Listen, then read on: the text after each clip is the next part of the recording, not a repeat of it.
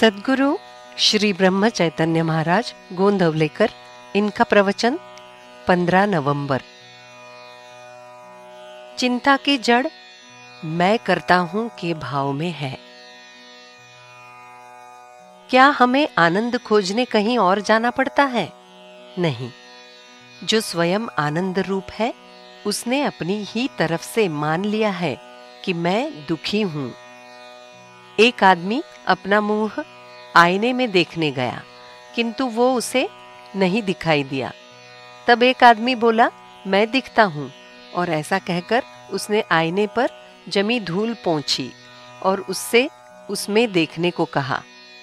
और तब उस आदमी को उसमें अपना मुँह साफ़ दिखाई दिया। यही साधु संत किया करते हैं। वे हमसे कहा करते हैं कि तू ही ब्रह्म रूप है। यानी तू स्वयं सिद्ध और आनंद रूप है। लेकिन हम क्या करते हैं?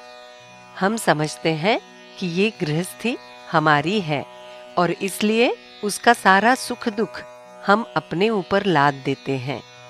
जिसने उसे उत्पन्न किया है, उसमें उसकी रक्षा करने की शक्ति होती है और अपनी इच्छा के अनुसार वो उसकी रक्षा करता भी रहता है।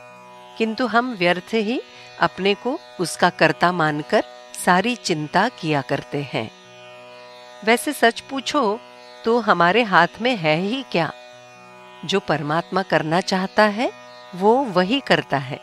किंतु हम मात्र व्यर्थ चिंता करके दम तोड़ते हैं। इसलिए चिंता छोड़कर हम भगवान की शरण जाएँ। हम उसके होकर रहें तो हमें सुख दुख ना हो, तब हमें उस आनंद का लाभ होगा। चिंता बड़ी अजीब होती है। एक आदमी को, उसके लड़के को अच्छी नौकरी मिले, इसलिए चिंता थी। बाद में लड़के को मन लायक नौकरी मिल गई तो उसे उसकी शादी की चिंता हुई। कुछ समय बाद उसकी शादी भी हुई, लेकिन फिर बहू का व्यवहार घर में अच्छा नहीं है, ये देखकर उसे चिंता हुई। उसके बाद उसे बच्चा नहीं होता, इसकी चिंता हुई।